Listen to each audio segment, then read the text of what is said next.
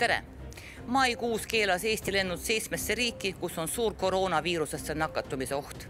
Nende hulgas on ka Rootsi, mille erilist strateegiat pandeemiaga toimetulekul imetlesid ja imetavad paljud. juba märtsis oli Rootsi seisukohal, et keelata ega sulgeda pole suurt midagi tarvis. parem lasta tekkida karja immuunsusel ja majandus jääb ka terveks.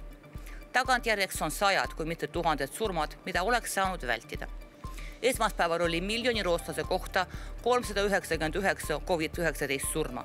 kui hakata võrdlema, siis jah, seda on tõepoolest vähem kui riikides, kus olukord on sootuks halb. Itaalias, Hispaanias, Prantsusmaal ja Belgias. ainult et Rootsit ei tuleks võrrelda mitte nendega, vaid rikaste põhjanaabritega. niisuguse võrdluse puhul on erilise strateegia tulemus ilmselge. Taanis on surmasid neli korda vähem, Norras kaheksa korda, Soomes seitse. Baltimaadega ei tasu võrdlema hakatagi rootslaste kaitsjad kinnitavad, aga selle eest päästsid nad majanduse. tsitaat Eho Moskvõi blogist. rootslastel ja valgevenelastel on kõik avatud, kõik töötab, meil on kõik peatatud ja laguneb, aga haigestunute arv on ligikaudu ühesugune. surmadest hoidub see blogijast härrasmees kõnelemast. kui ta eksib ka majanduse osas, kõik on avatud, ei tähenda veel, et kõik töötab nagu tavaliselt kui riigis on metsik suremus, aga teil on peres eakad vanemad, astmaatikud, nõrgenenud immuunsussüsteemiga lapsed, siis mõtlete enne sada korda järele, kui otsustate sõita metrooga või minna poodi. ostjaid pole, kurdavad Rootsi ärimehed, kõik istuvad kodus.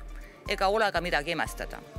Rootsi keskpanga prognoosi kohaselt saab riigi majanduslangus sel aastal olema seitse kuni kümme protsenti, tööpuudus aga üheksa-kümme protsenti peaaegu samasuguse prognoosi andis Euroopa Komisjon kogu Euroopa Liidu jaoks. Pole välistatud, et Rootsis saab olema keskmisest hullem. küsimus pole üksnes sissenõudluse vähenemises. on üks tegur, mida rootslased suutsid kahe silma vahele jätta. Nad ekspordivad ja impordivad üle neljakümne protsenti kaupadest ja teenustest. kui teistes maades on majanduslangus, siis saabub see ka Rootsi, olgu restoranid peagi kas või ööpäev läbi avatud. kui kõikjal suureneb töötus, siis suureneb see ka Rootsis ekspordi heaks töötab viisteist protsenti Rootsi tööjõust. kui Hollywoodis ei tehta uusi filme, pole kinodes midagi vaadata. kui lennata pole kuhugi, kannavad lennukompaniid kahjumit. Ja kui tänavale minek on seotud haiguse ja surmariskiga, siis muutub majanduslik käitumine loomulikult samuti nagu kõikjal mujalgi. majanduse päästmine on müüt. rootslastel ei õnnestunud majandust päästa.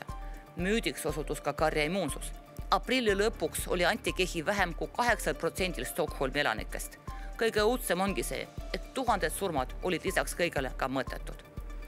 aprillikuus püüdsid kaks tuhat Rootsi eksperti niisuguse olukorra teket vältida, kuid see ei õnnestunud. Kõik oli ettearvatav, imesid ei juhtu, viirus on viirus, loogika kehtib endiselt.